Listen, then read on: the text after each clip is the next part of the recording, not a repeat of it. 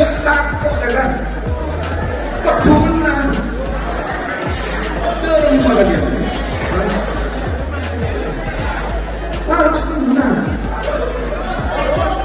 Dihentik dari generasi